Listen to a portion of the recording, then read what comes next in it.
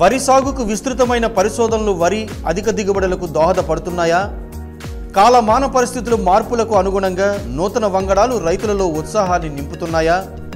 నూతన వంగడాలు రైతులకు ఎటువంటి ప్రయోజనం చేకూరుస్తున్నాయి? రైతులలో వచ్చే సందేహ నివృత్తి చేసేందుకు మీకోసం రైతన్న. రైతన్న కార్యక్రమంలో వ్యవసాయంతో పాటు పశు సంపదపై ప్రత్యేక సూచనలు సలహాలు. జిల్లాలో ప్రధానంగా పండించే పంటలో మొక్కజొన్న పంట కూడా ఒకటి. ఈ మొక్కజొన్న పంట ద్వారా తక్కువ సమయంలోని ఎక్కువ లాభాలను ఏ విధంగా పొందవచ్చు? రైతులు ఏ విధంగా అంటే తక్కువ సమయంలోనే ఎక్కువ లాభాలను పొందే విధంగా ఏ విధంగా సలహాలు సూచనలు తీసుకోవాలన్న విషయంపై ఏరువాక కేంద్రం శాస్త్రవేత్త అదేవిధంగా దా ఏరువాక కేంద్రం కోఆర్డినేటర్ డాక్టర్ లక్ష్మణ్ గారు మన పక్కనే ఉన్నారు. ఆయన అడిగి తెలుసుకుందాం. సార్ చెప్పండి. మొక్కజొన్న పంట అనేది ఏ ఏ నేలల్లో ఎక్కువగా పండుతుంది? ఆ, దాన్ని మనకు అధిక దిగుబడులు ఎక్కువగా రావడానికి గల మీరిచ్చే సలహాలు ఏంటి? సాధారణంగా ఈ మొక్కజొన్న అనేది మన విజయనగరం జిల్లాలో ఉండేటటువంటి చాలా వరకు ఈ యొక్క తేలికపాటి నేలల్లో చాలా శ్రేష్టంగా పండించవచ్చు. అయితే మన విజయనగరం జిల్లాలో దాదాపు ఒక నలభై ఐదు వేల ఎకరాల వరకు కూడా ఖరీఫ్లో ఈ వర్షాధార కింద సాగు చేయడం జరుగుతుంది. అదేవిధంగా రబీలో కూడా దాదాపు ఒక యాభై వేల ఎకరాల వరకు కూడా ఈ యొక్క నీటి వసతి కింద పండించడం జరుగుతుంది. అయితే ఈ మొక్కజొన్న ఏంటంటే అంటే స్వల్పకాలంలోనే అంటే తొంభై నుంచి వంద రోజుల్లో కోతకు వచ్చేటటువంటి పంట. ఈ పంటలో చూసుకున్నట్లయితే ఇది వరకు సమస్యలు కూడా చాలా తక్కువనే చెప్పాలి. కాబట్టి రైతులు ఏంటంటే ఈ మొక్కజొన్నని తేలికపాటి నేలల్లో వర్షాధారం కింద తక్కువ నీటితో చాలా లాభదాయకంగా సాగు చేయడం జరుగుతుంది. కాబట్టి విజయనగరం జిల్లాలో ఈ యొక్క మొక్కజొన్న అనేది విస్తీర్ణం చాలా వరకు పెరుగుతూ వస్తుంది.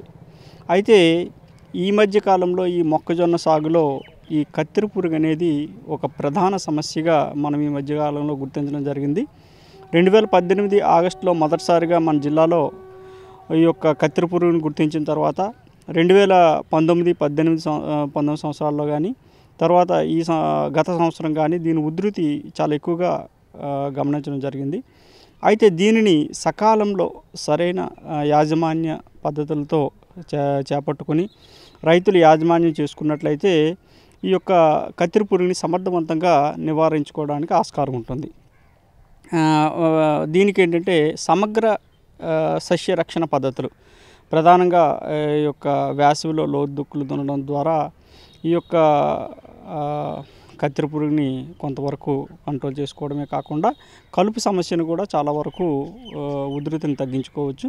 కలుపు మొక్కలను ఉండడం వల్ల పంట అనేది కొద్దిగా దిగుబడి అనేది తగ్గే అవకాశం ఉంది. కలుపు మొక్కలకి ఏ విధంగా మనం ఎలాంటి మందులను మనం వాడవచ్చు? అదేవిధంగా ఎరువులు అంటే దీనికి సంబంధించి ఎరువులని ఎలాంటి ఎరువులు వేస్తే మనకు అధిక దిగుబడులు వచ్చే అవకాశం ఉంది? ఓకే. నిజానికి ఏంటంటే కలుపు అనేది ఏ పంటలోనైనా ప్రధానమైనటువంటి సమస్య. తొలి దశలో ఈ మొక్కజొన్న పంటలో కానీ కలుపు ఉధృతి చాలా ఎక్కువైనట్లయితే పూర్తిగా మొక్కను హరించి వేసి దాని పెరుగుదల కుంటుపడిపోయేటటువంటి పరిస్థితి వస్తుంది. కాబట్టి తొలి దశ నుంచి కూడా ఈ మొక్కజొన్నలో కలుపుని యాజమాన్యం చేసుకోవాలి. ఇంతకుముందు చెప్పినట్లయితే వేసవి దుక్కులు దున్నుకోవడం ద్వారా ఏదైతే ఈ యొక్క తుంగ వంటి దుంపజాతి కలుపు ఉంటుందో అది ఈ యొక్క ఎండకి ఎక్స్పోజ్ అయ్యి చాలా వరకు దుంపలు చనిపోయి కలుపు ఉధృతి కొంతవరకు తగ్గేటువంటి ఆస్కారం ఉంటుంది.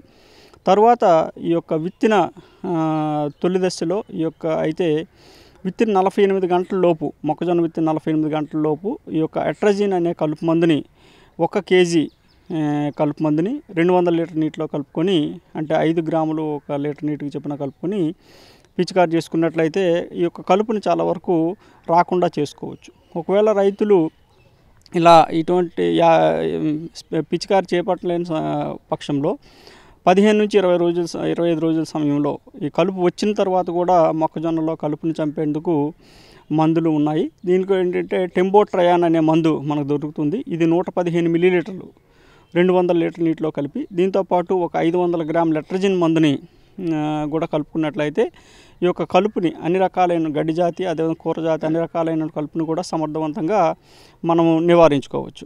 చేతికొచ్చే సమయంలో అంటే ఎలాంటి జాగ్రత్తలు తీసుకుంటే మనం దాన్ని నీట్గా గ్యాదర్ చేయవచ్చు అంటారు. అంటే పంట చేతికొచ్చే సమయంలో చాలా వరకు మనది కోస్తా తీర ప్రాంతం కాబట్టి ఎక్కువగా తుఫాన్ల తాకిడికి ఎక్కువ నష్టపోయేటటువంటి పరిస్థితులు ఉన్నాయి కాబట్టి పంటలు కో పంటని కోసిన వెంటనే దాన్ని జాగ్రత్త పరచుకోవడము తర్వాత కండిల్ని వేరు చేసి టార్పలిన్ సహాయంతో కప్పుకోవడం కానీ ఒకవేళ ఎప్పుడైనా తుఫాన్ల వలన తడిచిపోయినట్లయితే ఐదు శాతం ఉప్పు ద్రావణాన్ని ఆ యొక్క కండెల మీద ఒకసారి పిచికారి చేసినట్లయితే మొలకలు రాకుండా కూడా మనం నివారించుకోవడానికి ఆస్కారం ఉంటుంది. ఇది దీనికి సంబంధించినటువంటి ఏరువాక కేంద్రం కోఆర్డినేటర్ అంటే మొక్కజొన్నను సరైనటువంటి ప్రణాళికతో సరైనటువంటి నీరు సమ అదేవిధంగా సక్రమైనటువంటి మార్గంలో ఎరువులను అదేవిధంగా పిచికారి మందులను కూడా వేసుకున్నట్లయితే అధిక దిగుబడులను సాధించవచ్చని చెప్తున్నారు. వీడియో జర్నలిస్ట్ దాలిరాజ్తో సంతోష్ వాజీ న్యూస్ విజయనగరం.